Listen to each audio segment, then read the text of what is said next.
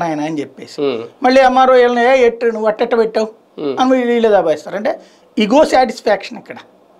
అంతకు మించి ఏమి ఉండదు కానీ ఇక్కడ బిలో పవర్టీ లైన్కి సంబంధించి అంటే ఇప్పుడు సచివాలయాలు వచ్చినాయి ఇప్పుడు వచ్చినాయి కాబట్టి వాలంటీర్లు ఉన్నారు. అందరికీ కూడా పింఛన్ తీసుకునే వాళ్ళకో లేదంటే ప్రభుత్వ పథకాలు పొందే వారికో ఈ అర్హతలు ఏంటి అనేది అవగాహన కల్పించే కార్యక్రమాలు లాంటివి చేపడితే బాగుంటది కదా. లేకపోవడం వల్ల చాలా మందికి తెలియట్లేదు కదా. అందరికీ తెలుసు. తెలియకుండా అప్లై చేశారా? మీకు ఇది వర్తించదని చెప్పలేదు వాళ్ళు. చెబితే వాళ్ళు ఏమన్నారు. ఇప్పుడు ఇంట్లో భార్య భర్త ఉన్నారు మీకు ఇది వర్తించదమ్మా అంటే అటైతే మా ఆయనతో నా సంబంధం లేదు నువ్వు అట్ట రాసి అని చెప్పారు. రాసి అంటే ఎలా రాసేస్తారు? రాసేసారు ప్రభుత్వ అధికారులు మరి. అంటే రాసేసారు అంతే.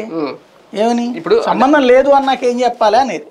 ఇప్పుడు ఇంత రూల్స్ పాటించినప్పుడు అప్పుడు పాటించవచ్చు కదా అంటున్నాను రాయకుండా ఉంటే రోజున అట్లా ఇచ్చేయమని చెప్పాం కదా మనం బేసిక్గా అంటే దాంట్లో వాళ్ళకి ఆ ఇది చెప్పలా. నువ్వు ఈ డాక్యుమెంట్ పట్టురా మీ ఇద్దరు విడాకులు తీసుకున్నట్టు లేకపోతే కోర్టులో గొడవ పడుతున్నట్టు పట్టురా అని చెప్పలా.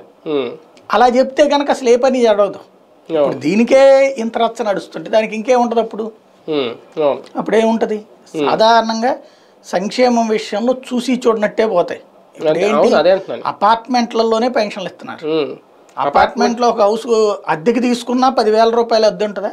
పదివేలు అద్దె తీసుకున్న వాళ్ళకి రెండున్నర వేలు పెన్షన్ ఏంటి? పదివేలు అద్దె కట్టే వాళ్ళకి. బయటకు వచ్చి కింద రేషన్ బియ్యం తీసుకుంటారు ఏం చేయాలా? అదేమంటే వాళ్ళని అన్నాం అనుకోండి.